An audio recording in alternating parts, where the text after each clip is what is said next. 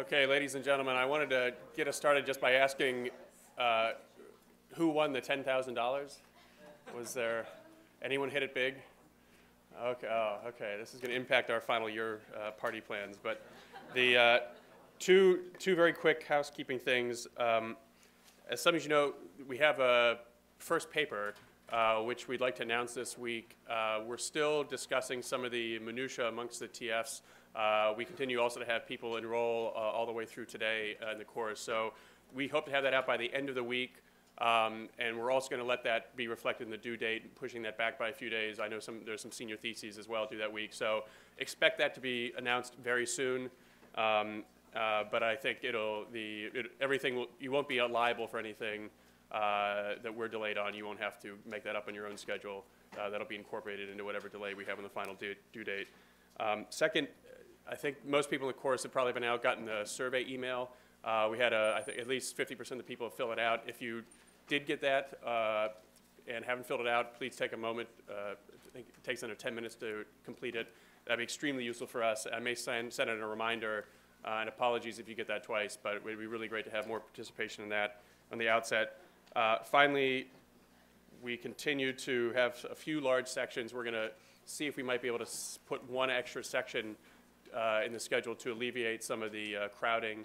Uh, we also will have that announcement done in the next uh, day or two as well. So that's all the housekeeping. Any course mechanic questions at the outset that I can help address? Okay, seeing none, the floor is turned over to Larry. Great. So, so I want to start today with an exercise um, to try to make really obvious something that is already obvious but forgotten, not something we think about a lot. And the obvious question is, um, what techniques we use, we, all of us, you, or lobbyists, or maybe some of you are lobbyists. How many lobbyists are there in the room? No. Okay, so anybody, the techniques any of us use to influence other people. Like what are the ways in which we get other people to do things that we want them to do. Okay, so by exercise, I literally mean we're gonna we're gonna uh, we're gonna construct this ways to get what you want, right? And you might learn something from some of your friends here. So this is helpful because you know this could be on your way to becoming president, which one of you is going to be, I understand. But um, but here's the thing: I want you to tell me what these ways are, and we're going to order them in a sense, trying to go between the things that seem most effective or powerful, and then that's going to raise the question where, to the things that might be least effective or powerful, and it's going to raise the question where. So, somebody start me off. What's a good way to, yeah? So, dialogue. So, talk to them, okay? So, you see, I can type too. Um, so, we're going to talk to them. Um, and in talking to them, we're going to be asking them for something. Is that the idea? So we're going to ask them. So uh, we could call this the please idea. Okay, what's another way to get them to do what you want? Yep.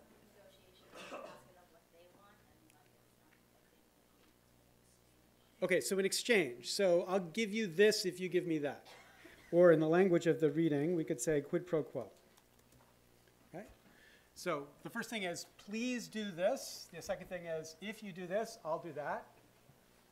Okay, what, how else? Yeah, Um, drop in? drop hints, Drop hints about what you want or what they want or? Uh-huh. Um, okay, and what motivates them to give you what you want in that context? um, like, you could be like, oh my gosh, I love it when this person gave this birthday present Uh-huh. or something, and then they would know. Okay. Okay, so, so sure, that's a totally familiar way in which you get what you want. Much, you know, people like me who totally incapable of asking for anything from anybody, ever. This is how I ask. I say, geez, I really like, so hints, perfect, that's great. What's another way? convince the other person that they came up with the idea that you initially uh-huh. Aha. Hmm. So that's not quite deception. What is that? What is it? Inception? Okay. All right. Ah, yeah, up there. I convinced the other person that it's in their best interest. Okay, so this is another version of one. Great. So let's talk uh, and convince common interest. All right? Yeah. Both of you. First you. Okay, I just want to say. Okay. I'm not recommending that. Um, uh, but okay, blackmail would be a technique. What, what do you, but, you know, lawyers can never figure this out. What do you mean by blackmail? You're threatening them with what?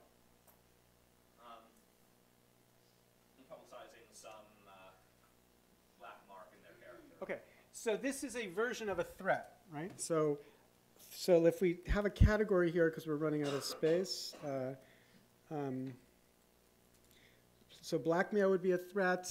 You know, you could beat them up, or at least some people. Could. I couldn't, but you know, one could, in theory, beat somebody else up, right? So these are threats to try to get them to what to do. You had an idea? Um, you could ask someone who has more influence for like a version to use, what their recommendations are, and use that. Recommendation, that's nice, okay. Um, okay, now, okay, let's start with these. Now think about two different contexts. One, you're driving along the side of the road, you pull over at a restaurant, you're trying to get somebody to do something at that restaurant. And two, you're in your dorm or in your, you know, in a room with a bunch of your friends and you're trying to get them to do something. So first on the side of the road, which are the kind of techniques that are going to be most effective on the side of the road? By which I mean among people you don't even know. So are hints going to be a good idea there? I'd love to have some food. I sure loved it when I got food the other day. Is that going to work? What, what's going to work there? Um, like the asking. the asking, and very important. And of course, I'm asking, but I'm going to pay you. right? I'm going to pay you. Right? So you sit down at a restaurant, you say, I would like, you know, um, I would like the salmon, which is okay. Don't say you want the hamburger. That's not okay. But salmon's good, or salad. That would be better. But asking for food that's implicitly saying, and I will give you something in exchange, quid pro quo, this for that. And the deal's over. You walk away. Nobody's expecting anything more. Okay, but how, how about among your friends? Like if you're trying to get your friend to do something for you, would you say, how about if I give you 50 bucks? Go out with me, I'll give you 50 bucks. right? Does that work in that context? No, right? I mean, well, it might. It depends on your friend, I guess, right?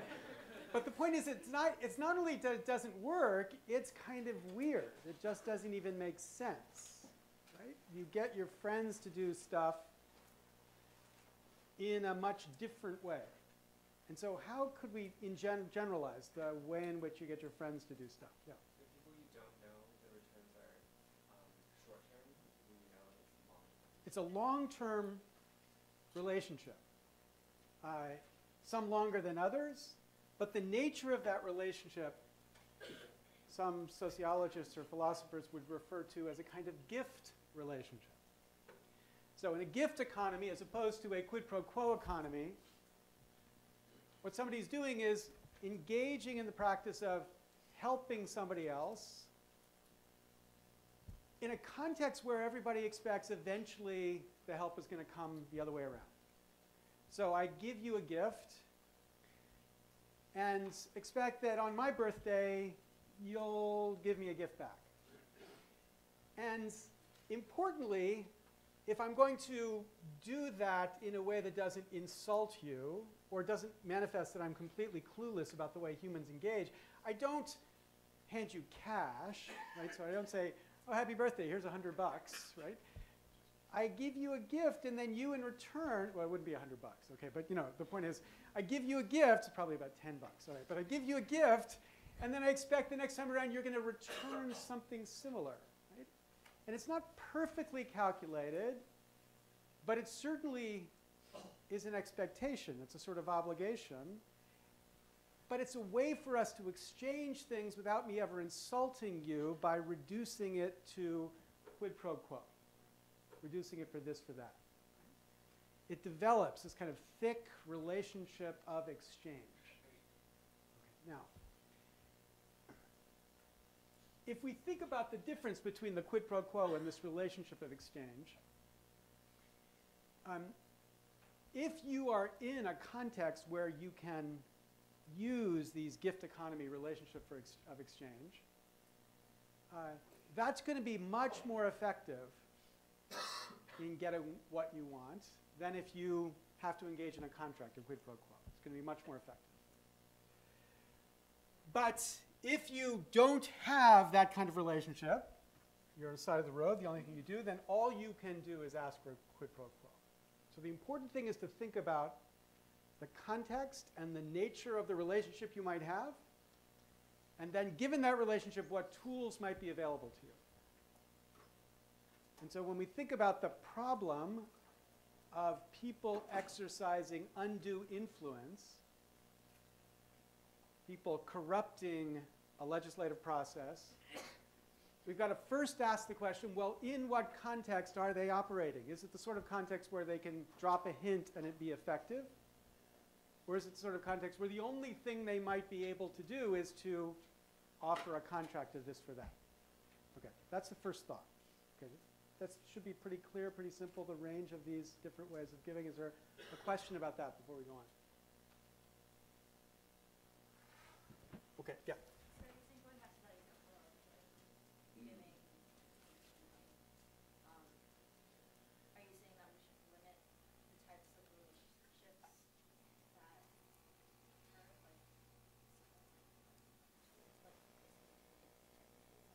Should we limit the type of no? I'm not telling you to limit your relationships. No, but I am. But I'm making obvious something that's already intuitive to you, which is what's effective and what's appropriate depends on the nature of the relationship you've got. So you don't know the person. The only thing that's going to be effective and appropriate is something that's like, "I'll give you this for that," or you know, maybe you appeal to their good. Um, uh, character by saying, you know, I'm hungry. Would you hand, give me some food? You know, that's not a this for that. And maybe that works, maybe it doesn't work. But in that context, that's all you've got.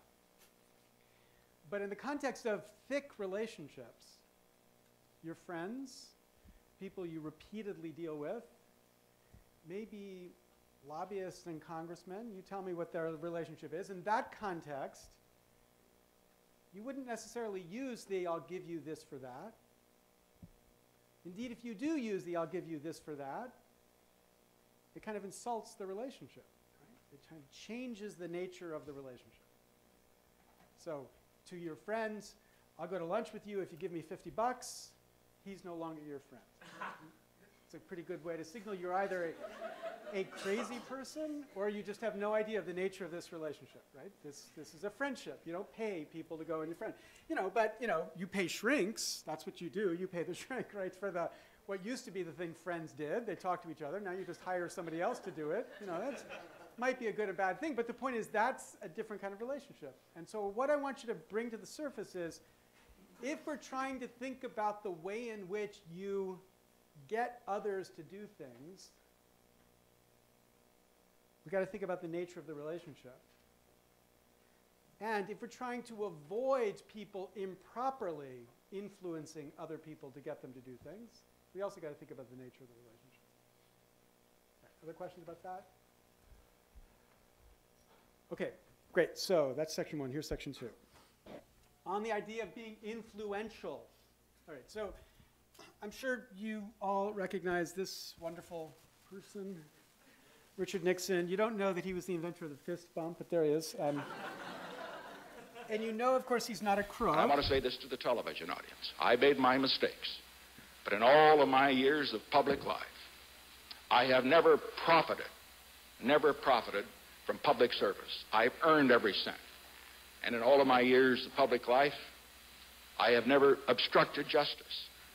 And I think, too, that I can say that in my years of public life, that I welcome this kind of examination because people have got to know whether or not their president is a crook. Well, I'm not a crook. I've earned everything I've got. You know, he's a politician. President? He's a good enough politician. You can see on his face right now, he realizes he's made one of the dumbest possible statements he could ever have made, right? To deny you're a crook as a politician is to admit you're a crook, right? So that was the problem which he was confronting because of this great place, the Watergate, where he turns out um, covers up or engages in a cover up of a set of activities which, when it comes out, demonstrates in a massive amount of influence peddling that had gone on inside of the Nixon administration um, in the grossest, most express way. So, for example, there's a very famous incident where um, the uh, government was going to eliminate price regulation for milk, right? You might not know this, but the government regulates the price of milk. Um, and they were going to eliminate the price regulation of milk to allow milk's price to fluctuate in the market. Um, they announced this policy intent. A bunch of milk producers walk into the White House with a bag filled with $300,000 in cash, literally cash. And when they walk out, the policy of the Nixon administration has changed. They're not going to touch the regulation of the price of milk. That's the simplest, clearest example of kind of quid pro quo bribery that would go on inside of a political context. And, and that, with a whole bunch of other stuff that comes out, leads to Nixon's resignation, the only president to resign. But for our purposes, importantly, it leads to a set of laws which attempt to regulate influence peddling in the government. And these laws, in particular, attempt to regulate influence peddling in the context of campaign finance, which is what that money for the milk regulation was supposed to support, the reelection of the president. Um, uh, uh, but that regulation was designed to make it so that this type of contribution, quote unquote contribution, had to be declared and was limited. Now, those regulations passed in 1974 go to the Supreme Court and get tested, in this case, Buckley versus Valeo in 1976. And Buckley has to think about two very different questions. Number one, can Congress limit the amount of money which people contribute to political campaigns? So at that time, the limit was $1,000. It says you can't give more than $1,000.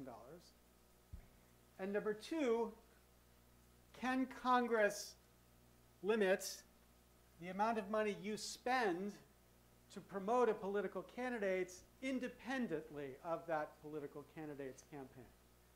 So you're, jo- you're George Soros or you're the Koch brothers, you go out and you want to spend a million dollars promoting one candidate or the other. Does Congress have the constitutional power to say you can only spend a certain amount of money?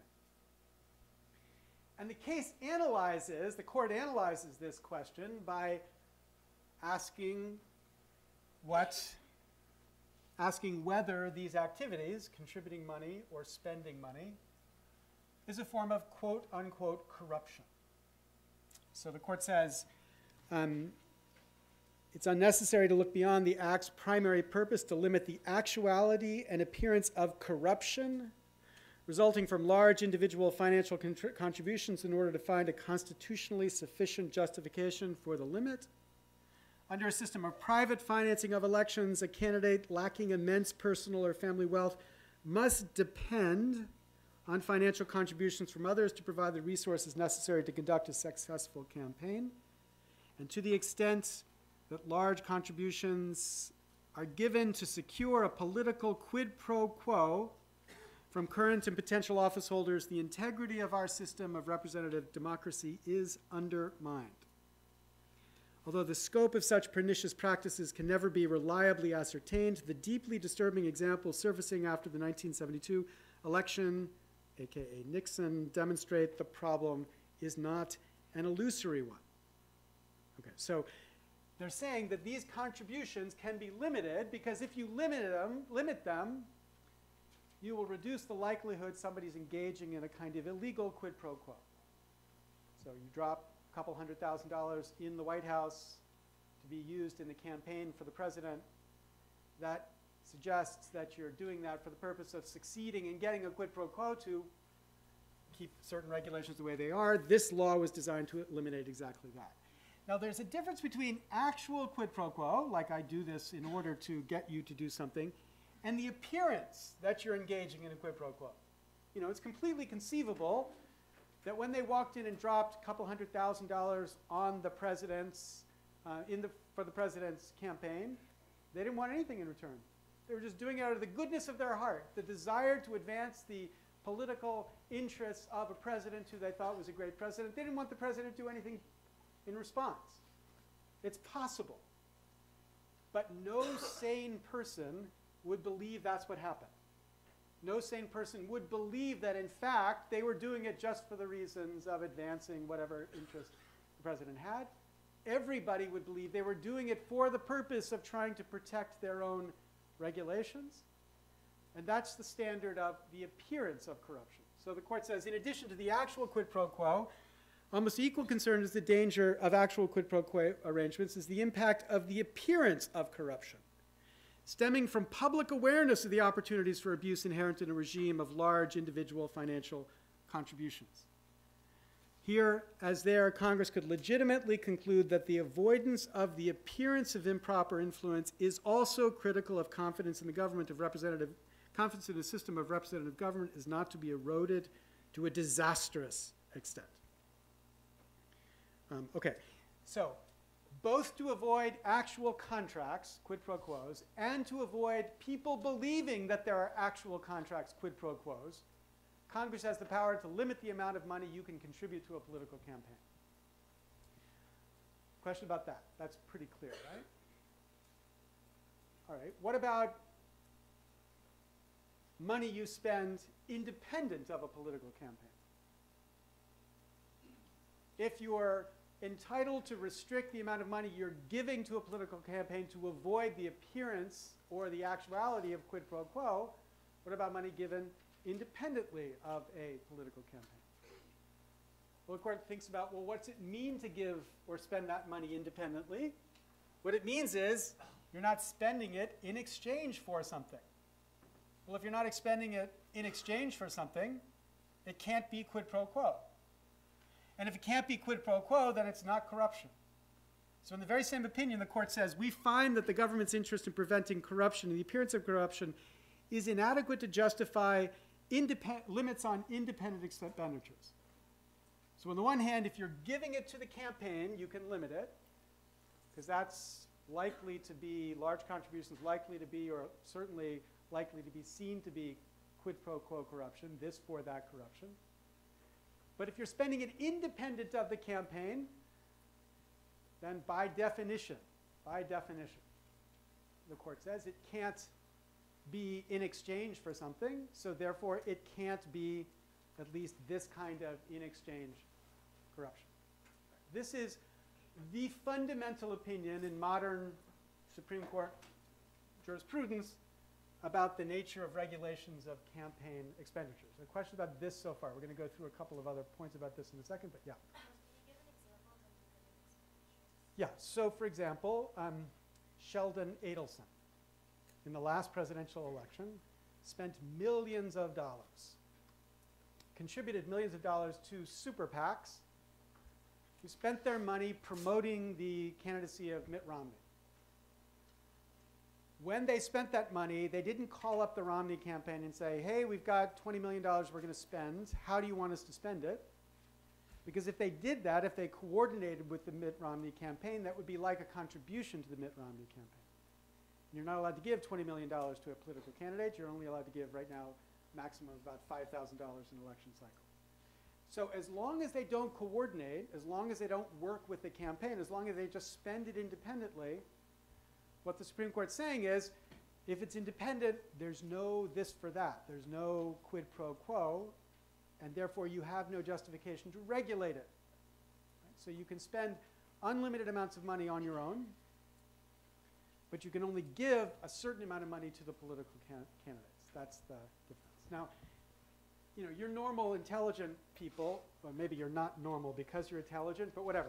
You're intelligent people, and I tell you that story that, you know, somebody gives $20 million to spend in a political campaign, and it's not in exchange for something, and you're a little bit skeptical. You're like, whoa, whoa, wait. If somebody's going to spend $20 million to help my campaign, I'm going to at least feel loyalty to that person. I'm at least going to like, well, at least I'm going to pretend like I like that person. I'm going to be eager not to upset that person. And what the court says is all of those influences might exist, but they are not something done in exchange for the money spent. It's independent of the money spent. It's, it's in that sense, an independent expenditure. Yeah. Is there any kind of a restriction on campaigns communicating with the individual donors or just with the super PAC? And can they coordinate on the side and then direct their money? So there's a category called coordination, which um, it's too hard for me to figure it out. It's very complicated law. But there's a category called coordination, which means if you coordinate, it's not independent. If it's not independent, you can't be giving unlimited amounts of money. But if you don't coordinate, if it is independent, the answer that Buckley says is you can give unlimited amounts of money. Okay, now, here's the reason why this becomes important. What this opinion does, what Buckley does, is take this word corruption and give it magical qualities. Know, if you missed that, let me show you that again. Watch. Magical qualities. and the magical qualities are in relation to this very important part of our Constitution, the First Amendment. The First Amendment, which says Congress shall make no law, by which it turns out they don't mean no law, but you know, they don't mean lots of laws. They mean you can't make lots of laws, or you can't make some laws at least, respecting blah, blah, blah, or abridging the freedom of speech. And the claim that people who challenge the 1974 regulations or every other campaign finance regulation make is that if you limit my ability to give money to a political campaign, that's like limiting my speech. Because my giving you money is like my speaking, my expressing my support for you. I say, I like you a lot, so I'm going to give you $50 million for your campaign. And so they say, you're limiting my speech. And the First Amendment says no law, no law limiting speech. So therefore, if Congress is allowed to pass one of these laws limiting my ability to give you $50 million, therefore limiting my speech, it's because Buckley has created this magical power in the word corruption. Call it corruption. If you can call the speech corruption, then you can abridge away. You can abridge as much as the, this quote of freedom of speech as you want. As long as it can be defined corruption, Congress can regulate.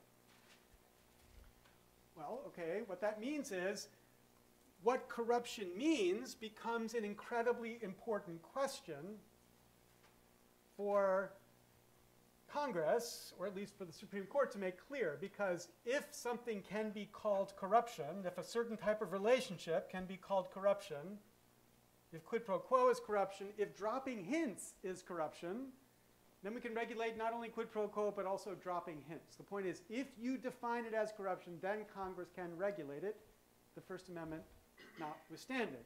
So the Supreme Court's tried to understand what corruption means. And as the courts thought about it, it said, well, let's think about corruption as a certain kind of influence. And in principle, we could say the influence could be applied to Congress, or you could say the influence could be applied to the people. We could be trying to influence Congress or influence the people. And the kind of quid pro quo corruption that we've just been talking about, the sort that Nixon was ac accused of, the sort that we imagine goes on when you give somebody $30 million to run their campaigns, is a kind of influence, not directly of Congress, but an influence on individual members of Congress. Now, some might say they're not just men in Congress, but it turns out the only ones convicted of criminal offenses have been men. So I've just included men as the members of Congress who you might be trying to influence. Okay, it's actually one woman, but all the rest have been men. Okay, but okay, the quid pro quo is an influence on a member of Congress. So I will do this in exchange for that. You say that to a member of Congress, like Randy Duke Cunningham, um, who was a uh, congressman who sold uh, defense contract influence in exchange for a yacht and a certain amount of money. Um, okay, so there are many who have engaged in that kind of behavior. This is the type of influence the court would clearly call corruption. It's an influence within, you can think of the economy of influence that is corruption because it steers the members away, members of Congress away, from a focus, which is supposed to be a focus on what the people want. In that sense, it's corrupting of their behavior, but it's corrupting at the level of the individual. We're only thinking about the way in which it affects the individual member of Congress, and it's corrupting at them because it's undermining their representative function. They're supposed to be representing us, they're supposed to be thinking about us, the public interest, and instead they're thinking about their private interests as they take their money in exchange for doing something for the public. Okay. Buckley upholds the power of Congress to regulate exactly in that context. Speech regulations of corruption are going to be fine. As long as it's this quid pro quo. Then there's a period of time where the court thinks about the potential corrupting influence of speech on people. So the state of Michigan um, looked at inks, corporations. State of Michigan thought, geez, corporations have a lot of power in Michigan. They have a lot of power in the political marketplace of Michigan. So they passed a law that said corporations weren't allowed to spend their money to influence political campaigns in Michigan. Um, and the reason for that is they say, well, corporations, you know, they have all this power in part because the state has given it to them. The state gives them special corporate form, like a limited liability because they're incorporated. They give them these favors, and the corporations are using that gift from the state in part to influence elections. There's something unfair about that. So then Michigan says we will ban corporations from participating in this kind of political speech. And it goes to the Supreme Court in this case of Austin versus Michigan, 1990. And the Supreme Court says that's totally fine. Michigan can do that. And the court says, here's the language the court says, the corrosive and distorting effects of immense aggregations of wealth, aka the corporation's money, accumulated with the help of the corporate form, because they're a corporation, they get special privileges from the state, with little or no correlation to the public support for the corporation's ideals. All of that, the court says, is a different type of quote unquote corruption. Different type of corruption. It's not quid pro quo corruption. We're not talking about the way in which the speech actually changes what state legislators do. It's corruption because it's distorting the political process, but who is it distorting? It's not distorting the representatives, it's distorting the people. The people are becoming distorted. This speech is distorting the way they think about political issues. And so that distortion, Michigan was allowed to remedy through this regulation, at least um, circa 1990 when the Supreme Court upheld it. So this is a kind of corruption, but it's a corruption of us, of people, not representatives in Congress, because of unequal money. And the remedy was to equalize the money so that we, the people, are not distorted by that distorting aggregation of wealth. Okay, now, that decision, 1990, was short-lived. You've, I hope, I, I trust, have heard of this case, Citizens United, decided in 2010, four years ago, um, where the Supreme Court reversed Michigan versus Austin. Supreme Court said, whatever corruption is, corruption is not that. Corruption is not about distorting how individuals in the political system are affected by speech in the political system. Corruption is about how representatives in the political system might be affected by influences in the political system.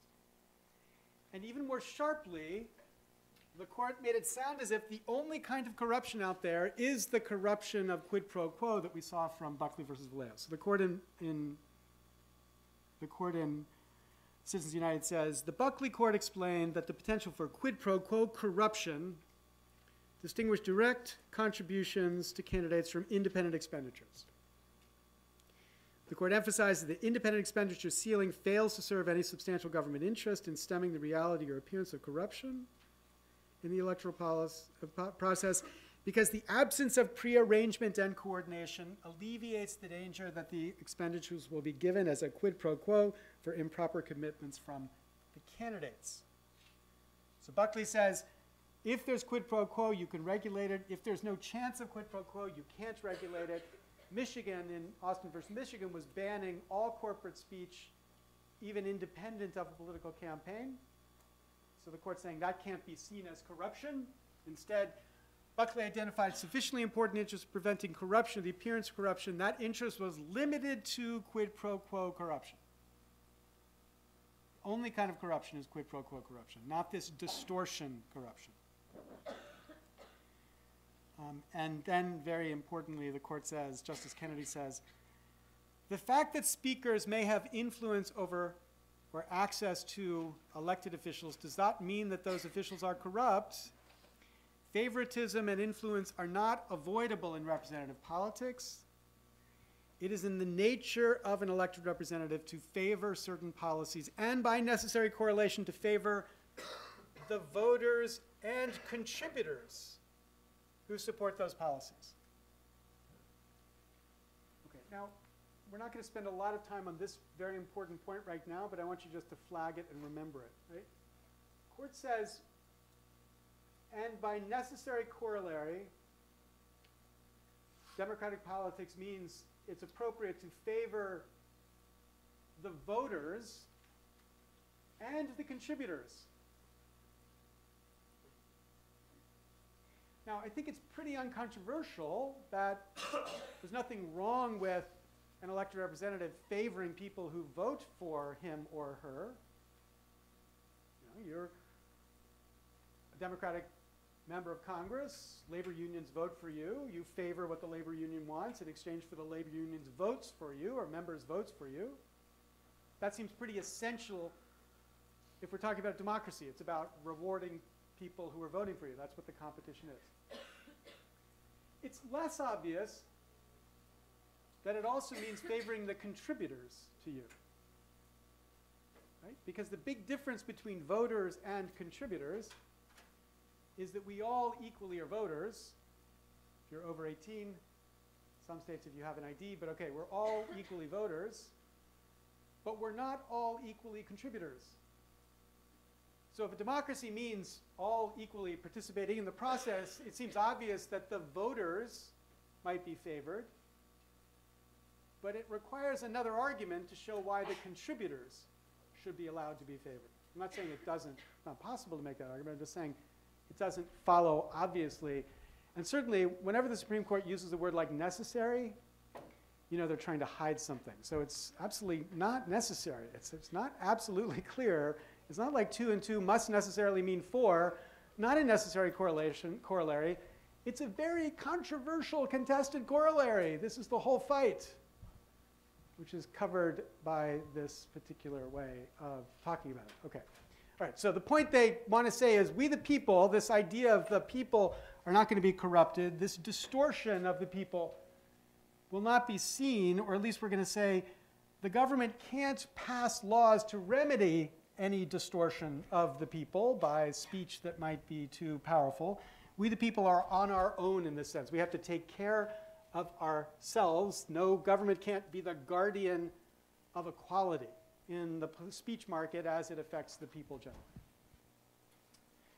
Okay. That's Citizens United. Might surprise you. I hope it doesn't, but it might surprise you. I think in that respect, Citizens United was right. It's not appropriate for the government to worry about how speech affects us. Or it's not appropriate, or it's too dangerous, maybe you want to say, but at least let's start with not appropriate for the government to try to regulate equality in speech across all contexts, where it worries that you're getting the right amount of speech from corporations and the right amount of speech from labor unions and the right amount of speech from Democrats, right amount of speech from Republicans. That's just a kind of morass that it's probably not appropriate for the government to be involved in. Whatever, it's not corruption. Distortion of speech is not corruption. You might say it would be corruption if we were you know, living in the area of Demosthenes. So what's Demosthenes' story? Demosthenes was such a great orator that he was required to put pebbles in his mouth before he spoke so that the quality of his speech would be on average as good as everybody else's. You know, if still he would be pretty good, but he'd be as good as everybody else. So the idea was we equalize Demosthenes so that he's not too persuasive. If that were our norm, then you would say that limiting corporate speech in this way might make sense, but the United States is not Greece, at least yet. Um, so, in this sense, the First Amendment does not permit this regulation of distorting speech. In this, in this way, we say regulation, uh, speech that might influence Congress might be called corruption. Speech that's regulating or affecting the people is not, according to the Supreme Court, called corruption. Okay, there's a big set of thoughts there. I want to pause now and make sure people are clear on it or you have questions about it so that we can move on to the next point as it gets to the readings we had for today. So, question about that?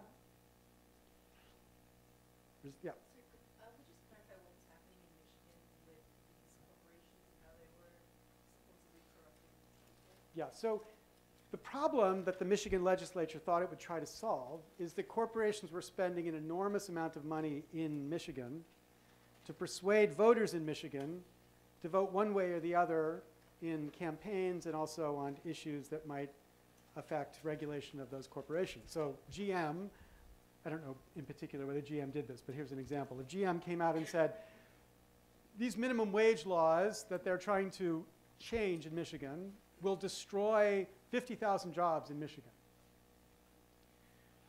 GM might pay for those ads. They would be advertised on the television stations in Michigan. They might say, your local representative supports changing the, mi- the minimum wage law. Call your local representative and tell her that if she changes the Michigan the minimum wage law, we're going to lose 50,000 jobs. Okay, so there is GM in this hypothetical trying to exert influence by getting the citizens of Michigan to do something against politicians in Michigan who they don't agree with. So the fear, the thought in Michigan was, geez, this is really terrible. These companies have all this money, they're spending all this money, they're mucking up our ability to regulate in the way that we think should be regulated. So we want to stop them from trying to interfere in that way. And so they said, you can't spend your money in this particular way. And the court originally said that's fine, but the court in Citizens United said that's not fine. And the upshot of Citizens United is corporations have a constitutional right to spend their money at least independently of a political campaign. They can't give their money to a candidate. Uh, but that's the upshot of that. Okay, other questions?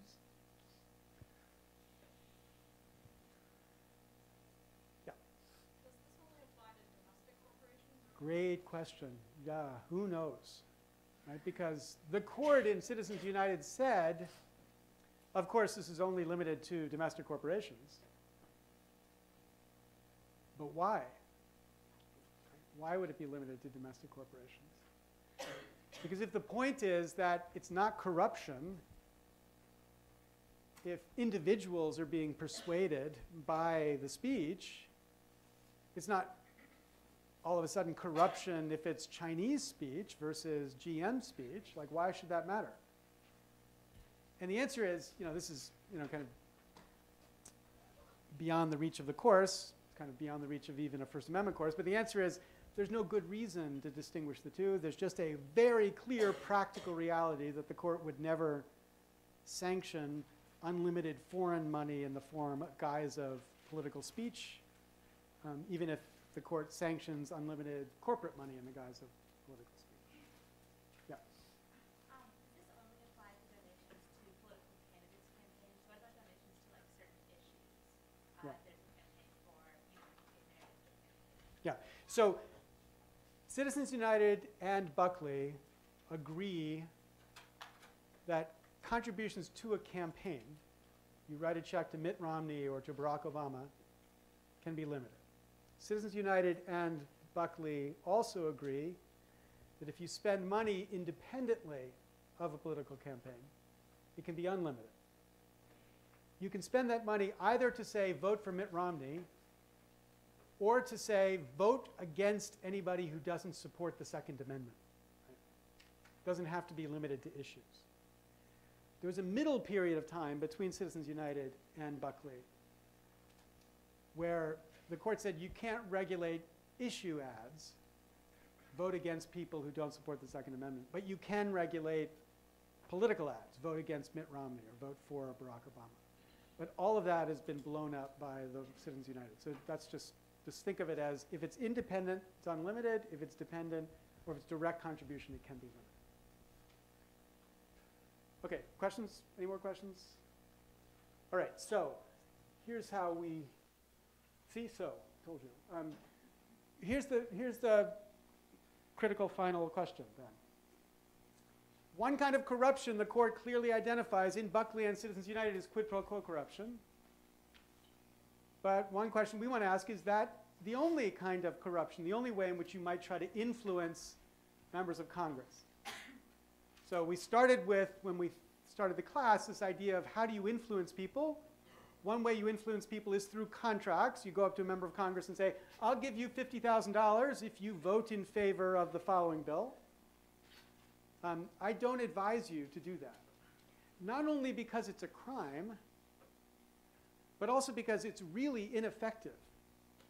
And it's really ineffective because in that act of saying, I'll give you $50,000 if you vote some, for something, you're saying to the congressperson, you're a crook, or you have no integrity, and especially congresspeople don't like to be called a crook or said they have no integrity. So that's a really stupid way to bring about the result. But let's get back to your suggestion, hinting, right? You're George Soros.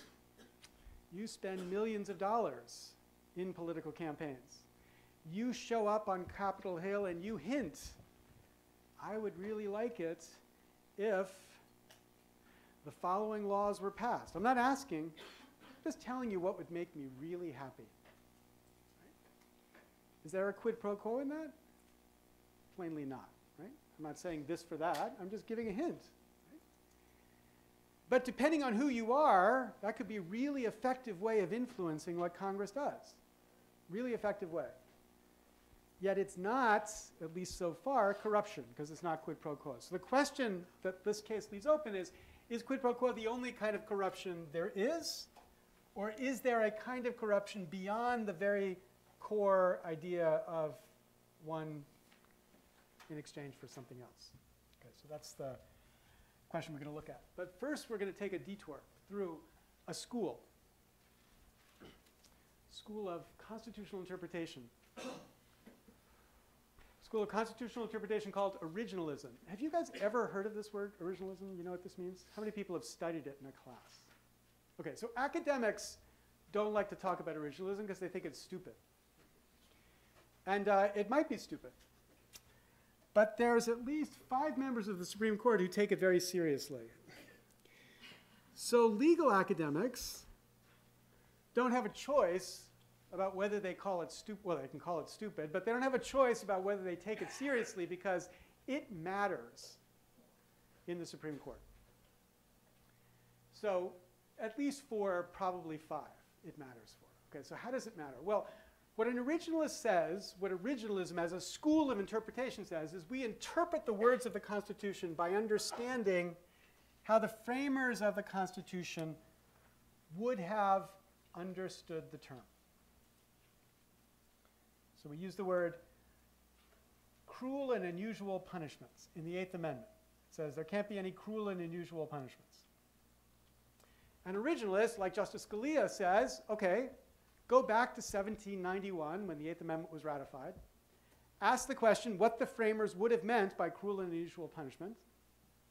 Whatever they would have meant, that's what it means today. So in 1791, flogging was common. If you did something bad, they wouldn't throw you in a penitentiary for five years. They'd bring you up into the town square and they would flog you. So Scalia would say, is that cruel and unusual? Well, in 1791, it wasn't cruel or unusual. So at least he says if he were a committed and principled originalist, he would have to say, it's not cruel and unusual to flog someone. Okay? So this is the method. You go back to what they would have thought, and you ask the question what the answer is then, and that's what the Constitution means. Now, it's not necessarily the end of interpretation. You might say, well, that's what it means. Now we have to figure out how it applies in a current context. I'm not saying that, but it's at least the beginning of the interpretation. So that if for the originalists, for these really critical votes on the Supreme Court, you want to ask the question, for the question, is quid pro quo corruption it? The originalists would say, how would the framers have understood corruption? What would they have said it means? Right? How would they have understood this concept? How would it have applied? Did it mean or would it have meant quid pro quo, the way Buckley seems to think it meant quid pro quo? Um, did it apply to individuals or institutions? And if it applied to institutions, what would it have meant? Okay, well, it turns out there's tons of writing about this particular question. We gave you some reading for Zephyr Teachout, but I'm going to introduce it by the classic theorist on the framing periods, um, Gordon Wood, not theorist, historian. Um, introduces the idea of corruption as a central organizing concept for the framing generation. Think of corruption as in corrupt as in bodies, right? Bodies corrupt, they corrode, especially older bodies as opposed to younger bodies. And what's interesting about the framers' way of thinking about things is that they thought of society as a kind of body. And they understood the way societies evolve through different stages of development. So Gordon would say, the history of particular nations and peoples, whatever may have been the history of mankind in general, was not a linear progression, but a variable organic cycle of birth, maturity, and death, which states like the human body carry within themselves a seed to their own distillation, which ripen faster or slower depending on the changing spirit of the society. So societies grow up and then corrupt, become corrupt. And everything the framers were trying to do was to build institutions to slow that inevitable corruption. So their idea was every society grows up and becomes corrupt the way England had become corrupt. Maybe we can have some kind of fountain of youth like technique, some tricks to slow the inevitable progress of the American society from this relatively primitive to this relatively mature, corrupt society. Um, uh, and so as he says, when the American Whigs described the English nation and the government as eaten away by, quote, corruption, they were in fact using a technical term of political science rooted in the writings of classical antiquity, made famous by Machiavelli, developed by classical Republicans of 17th century England, carried into the 18th century by nearly everyone who laid claim to knowing anything about politics. Um, the corruption of a constitution's internal principles was the more obvious and most superficial danger. Now, they, at the framing, were obsessed with the corruption of England. And what was the corruption of England? The corruption of England was different ways in which institutions no longer did what they were supposed to do because of the wrong kind of relationships inside the institution. So the crown had been able to evade the restrictions of the revolutionary settlement 1688. Don't worry about that means here, but and had found a means to corrupt the other branches of the legislature, upsetting the delicately maintained balance within the Constitution from within. And how had the crown been able to do that? Well, the crown was supposed to exercise its power by basically prerogative, by giving orders through the rights granted to it by the settlement of constitutional authority. But instead of doing that, the crown had begun to resort to influencing the electoral process and representatives in parliament in order to gain its treacherous end. So it would effectively buy elections for particular members of Congress, of the parliament, and by exercising its power to buy those seats, bind those members of parliament to the interests of the crown. So rather than parliament being independent of the crown, a significant faction of parliament would be tied to the crown, and thereby parliament would be corrupted. So this is the idea. Not necessarily a quid pro quo, but a kind of hint. The king would say, geez, you know, let me just drop a hint. I would love it if people voted for this bill. I would love it. It would be good for me. Not asking you to, not telling you you have to, but I would love it. And in that system, people would find their natural influence driven towards the thing that crown wanted. Um, okay. So, Whigs, these are the people that uh, Wood are talking about as focused on this idea of corruption. We're well aware that the last stage of a nation's life of luxury and its never failing attendant corruption will render easy the attempts of arbitrary prince who means to subvert the liberty of a country. What they're saying is, in the last stage, when we all live in luxury, we're kind of there now, but you know, at least we are. Um, it's going to be hard to resist the corrupting influences of the crown. But during the earlier stages, the idea is we can do what we can to stop them from being corrupt by creating the right kind of relationships and avoiding these corrupting relationships. In the second book, he does there's two more of these. Um, he says, Um, each part of the triad of king, lords, and commons, this is Britain, was praised for its independence. And any loss of independence was widely condemned as corruption, particularly when the crown gained power at the expense of the commons, the commons, the parliament. Um, and so the question was how do you preserve the independence? And the way you preserve the independence was to avoid these kind of dependent relationships. And this objective of avoiding these dependent relationships was what um, was what uh?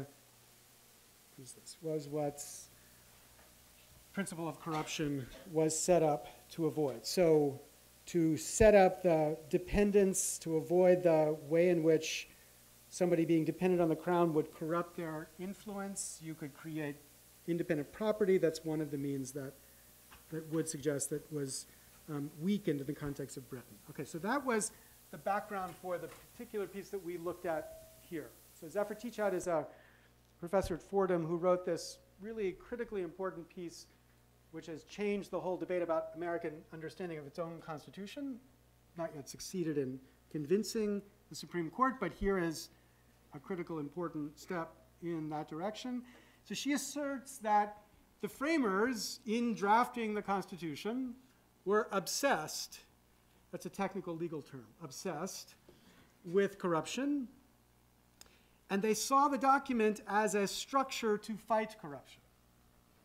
So answering the question, what was the Constitution for? Zephyr says the Constitution was for fighting corruption. Now, this language, structure to fight corruption, is a little bit modern. It might be better to say document is a mechanism to fight corruption. Because if you think, how did the framers think? The framers were obsessed with things like this. They were obsessed with machines, complicated machines, that if balanced exactly right, produced something really important, like you know, complicated clock, which if balanced and set up properly, produces reliable statement of the time. They thought of the Constitution in a similar way. There's lots of little gears and cogs and springs and tensions that you build inside the Constitution to produce the result you want. And what's the result you want? According to Zephyr, the result is eliminate corruption. So these cogs are to that end. Um, it was the corruption of uh, the state legislatures that led to this federal constitution. And the federal constitution then has a whole list of devices that she says were inserted for the purpose of avoiding a kind of corruption. So she gives you that list. They are this chart. Very helpful list of all the devices in the Constitution. Um, I want to go through some of these a little bit quickly, but you'll get the sense of how they're working. Look at them. So Article 1. Constitution's Article 1 governs the legislative power. Section 2. House of Representatives. It shall be composed of members of the House chosen every second year by the people of the several states, and the electors in each state shall have the qualifications of the legisla largest legislature in the state representatives. No person shall be a representative who has not attained the age of 25, not been seven years a citizen of the United States, and who, shall not, when elected, be an inhabitant of the state in which he was chosen. Um, this provision, she says, achieves a number of anti corruption objectives. First thing it does, the fact and frequency of elections.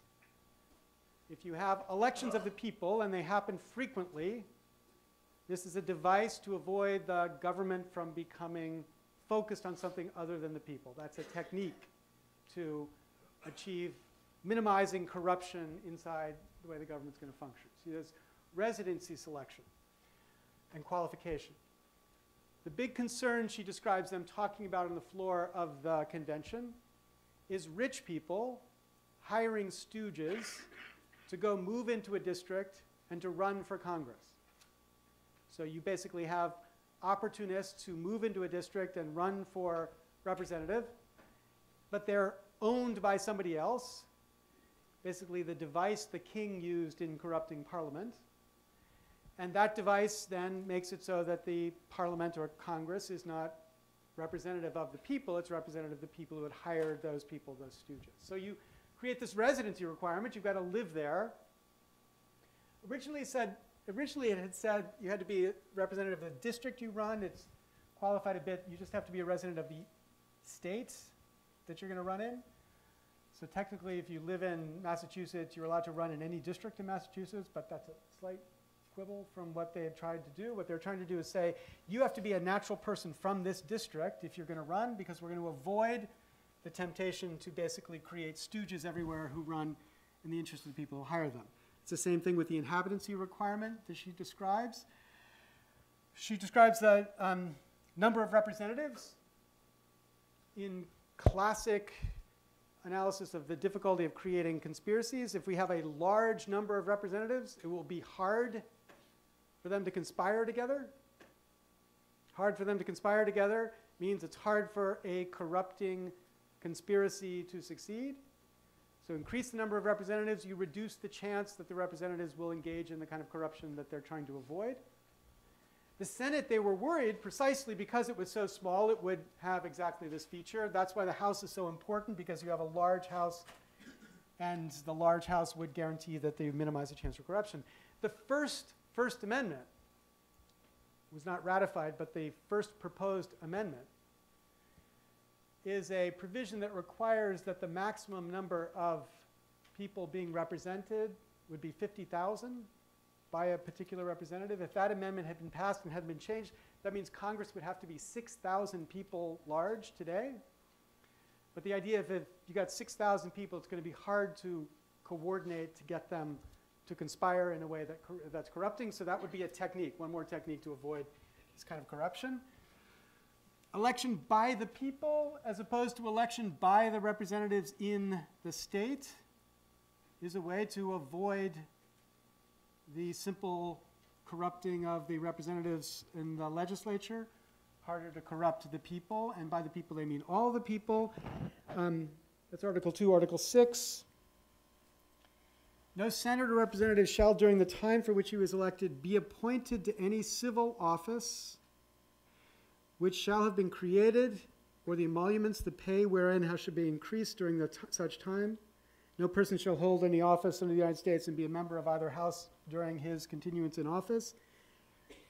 So, what's the dynamic this is trying to avoid? The dynamic is, geez, I'm a member of Congress. What I want to do is I want to become a government bureaucrat. Bureaucrats were pretty well paid at the time.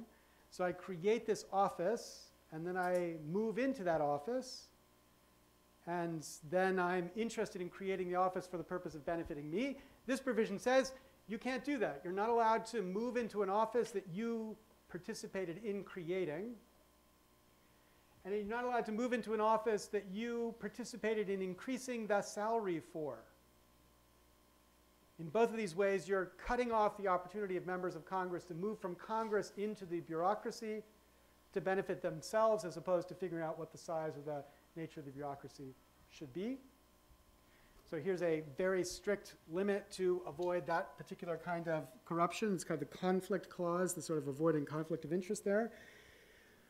Um, she sees the veto provision as another kind of effort to avoid corruption. Originally, they thought the president's veto should have to be overridden by three fourths of Congress.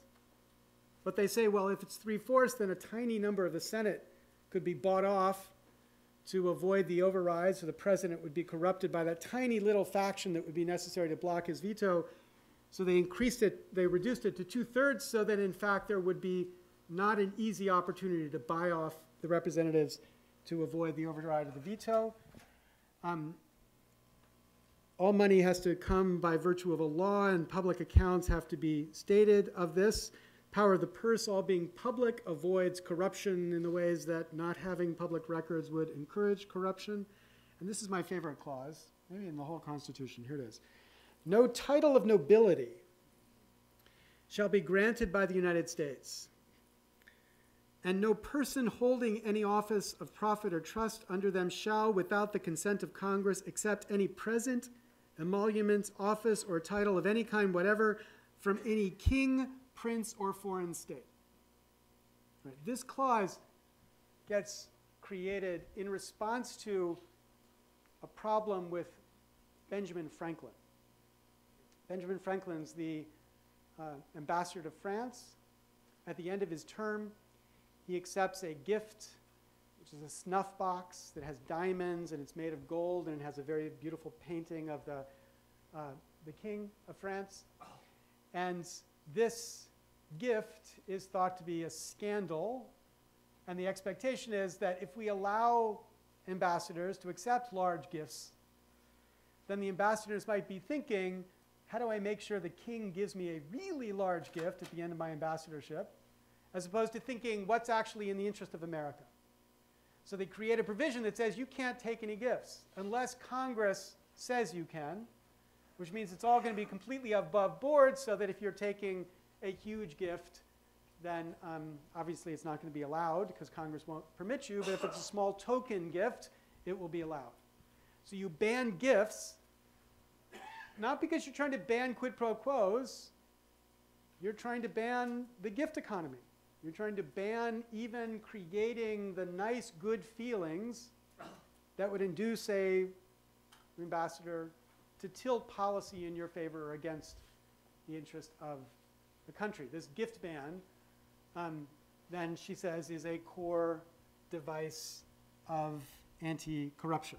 So all of these little devices, these little cogs, these little gears, little choke points in the way in which influence flows inside of Congress, she says are set up for the purpose of avoiding a certain kind of corruption.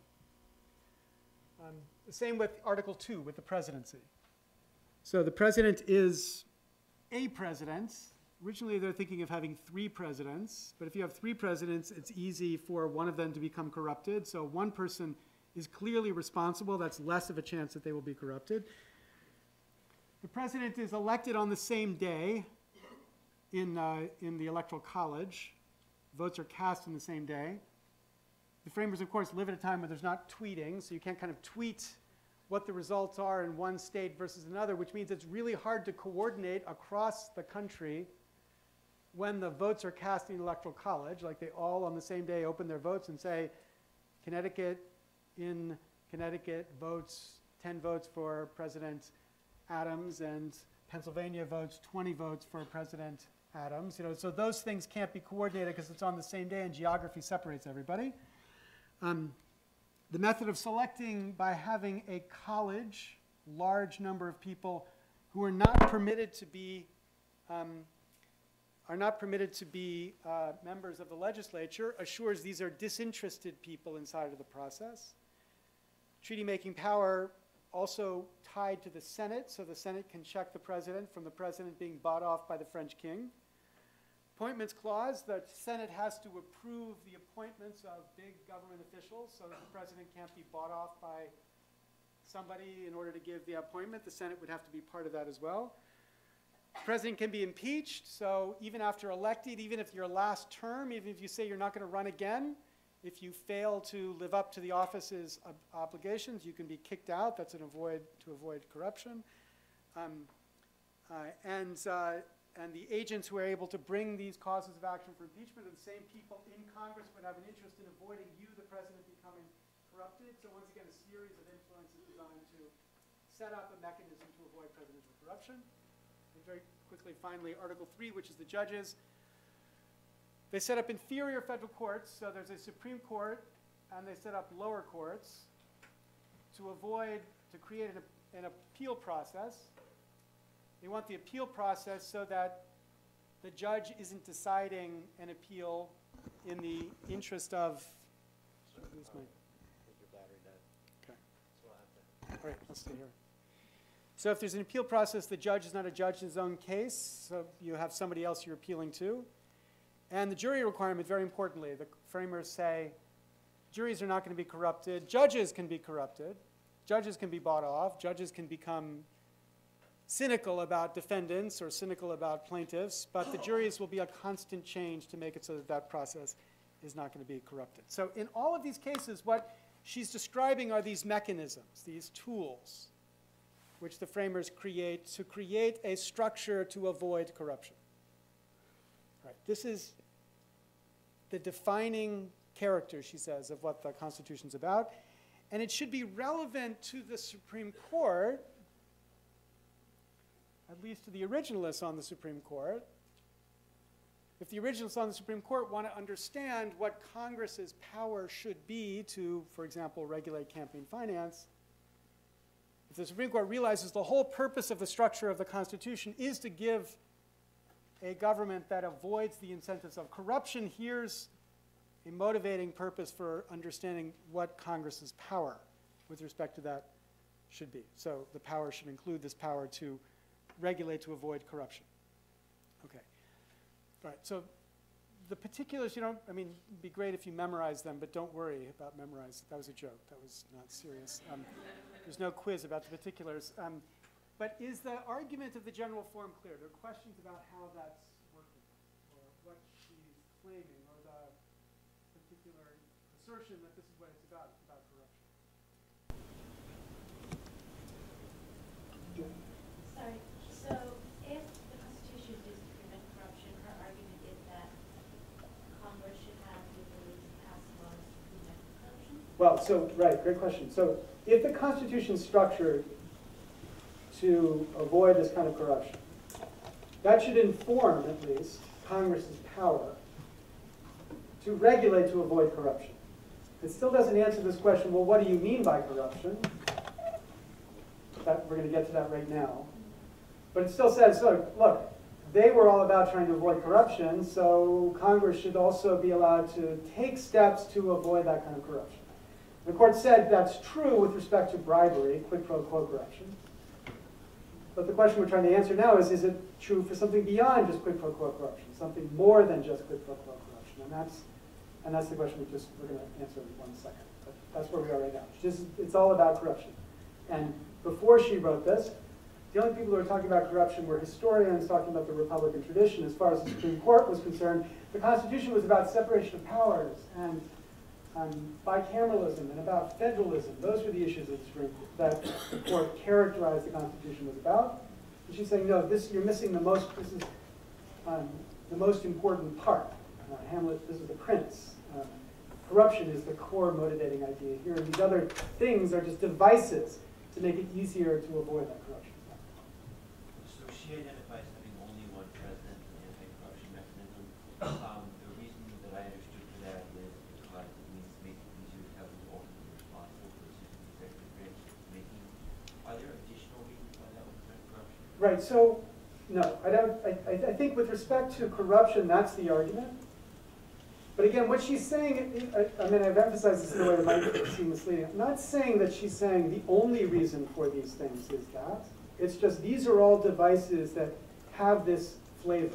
And she gives quotes from the floor of the convention where these constitutions are being debated to show why they saw these provisions as actually helping to avoid corruption, quote unquote corruption. But that's the objective. We set these things up, we create lots of incentives to avoid corruption, structures to avoid corruption. So if you think back to the very first, um, you know, uh, to Bill's lecture from last week, Thursday lecture, question is how do you set up institutions that have the incentives, the right incentives to avoid that bad behavior you're trying to avoid here? That's what she's saying. That's what they were doing. They were playing Bill's game. Um, they, listened, they had the same class with Bill that you're having right now. They understood this is the objective. How do we set up the rights incentives? And that's what they built with this long list of very weird, kind of tiny little gears, a system of incentives to avoid that. Okay, other questions there? All right, so here's the weakness to our argument. We come back to this question, well, what do you mean by corruption? It's all about corruption, but what does corruption mean? She says there are two features. The first is corruption is, in, is defined in terms of attitudes towards the public service, not in relation to a set of criminal laws. Okay, so it's about the wrong attitude. And the second interesting thing is that citizenship is understood to be a public office. That's a weird point we'll get back to, not in this class, but later. But the point about the first one is corruption exists when a narrow benefit was sought and received. The mental attitude and approach towards government was intrinsic to the description. So what they're saying is all of these steps that they're trying to avoid are steps that would be about somebody trying to get something from the government to benefit themselves. It's an attitude, a mental attitude. I intend to do this to benefit me. But that way of talking about corruption makes it sound a lot like what the Supreme Court was talking about when it said quid pro quo corruption, this for that. It's all about the actual intent to produce a result that benefits me. But is that really what they were meaning by corruption? Well, we wanted to look at that. So, some research assistants look at every single time that the framers used the word corruption. There are 325 times they do it. I'm not going to go through 325 times, you're not, but here they are, 325 times when they use the word corruption. They use it, more like that. Okay, so corruption. And these assistants then coded the uses of the word corruption. These were the law students who did it. Um, to decide what did they mean it, use it to mean? Did they use it to mean quid pro quo corruption? This for that? Did they mean it to mean hints? Did they mean it to mean corruption of institutions or corruption of individuals? Because of course, the way the court makes it sound, the court makes it sound as if the only corruption out there is corruption of quid pro quo. That's the corruption. And the originalists make it sound as if the framers were worried about quid pro quo. So indeed, the framers did talk about six about quid pro quo corruption. Of the 325 times that we found the word corruption used, they meant quid pro quo corruption six times. Six times. 1.8% of the sample, they were referring to quid pro quo corruption. So they were worried about the idea of somebody bribing somebody else, no doubt. They just weren't worried about it a lot. That wasn't the thing they were trying to attack. And every single time they used the word quid pro quo, yeah.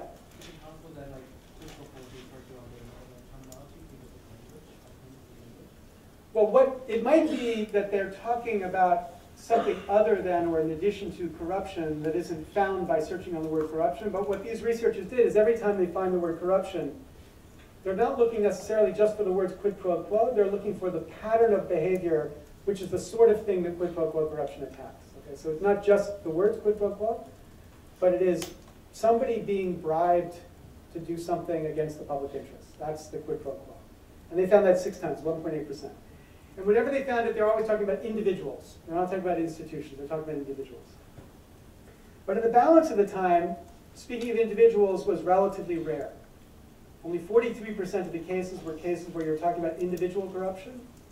Much more common was talk about institutions. So 57% of the cases were cases where they were talking about institutions becoming corrupt, the way we talk about parliament being corrupt.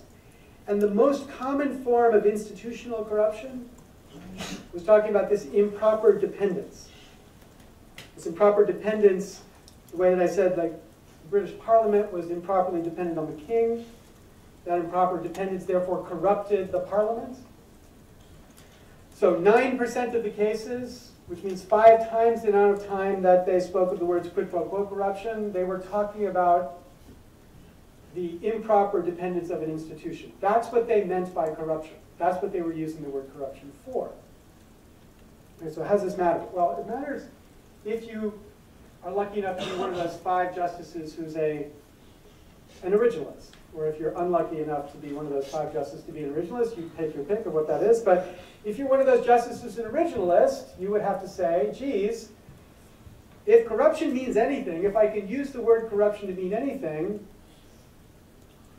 then it's got to mean improper dependence, whatever else it means. This is the normal way in which they use the word. That's got to be a use that we allow. Or another way of saying it is only a non-originalist, somebody who doesn't care about the original meaning of the Constitution, could, could argue that the word corruption should be limited to this word quid pro quo corruption alone. So for an originalist, you've got to say corruption is both about the individual and about the institution.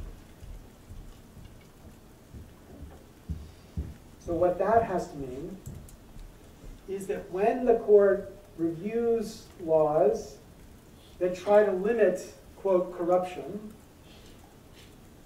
it can't limit itself to quid pro quo corruption alone. It's got to be able to limit it. It's also, also got to be able to consider, to review, to permit laws that attempt to avoid what we might think of as dependence corruption or institutional corruption as applied to what Congress. So I'm going to, we're going to stop right here. We got just one or two minutes for questions about this, but this argument continues as we go into the rest of what we're going to do for this week. So are there questions about this right now? Yeah. Those are one with, uh, measured damage done by different types of corruption. Do we have a sense whether it's for corruption that is more damaging or like more important, more pervasive? First order, or is the dependent type of corruption more damaging? Yeah, it's a great question. So the question is, which is which hurts more, quid pro quo corruption or dependence corruption? And it kind of depends on where depends on where and when you're talking about. So I think Africa is filled with quid pro quo corruption. The governments of Africa, to the extent they are corrupt, that's the problem that it devastates their ability to exist. But in the United States right now, between quid pro quo corruption and the dependence corruption, I think the quid pro quo corruption is a tiny amount of harm compared to the dependence corruption. The reason is quid pro quo corruption has shame. You're at least, you know, you're, if you're engaging in quid pro quo corruption, you're, you hide it. It's illegal. You, you're not proud of it. But the dependence corruption, when you, you know, engage in fundraising, you raise $50 million for your party, you brag about it. It's out in the open. It's the sort of thing everybody is completely happy to do. So it has no natural constraints the way quid pro quo corruption does. And so therefore, I think ultimately the consequences of, of it are going to be much greater. Okay. So we'll pick up here when we start back on Thursday. Thanks very much.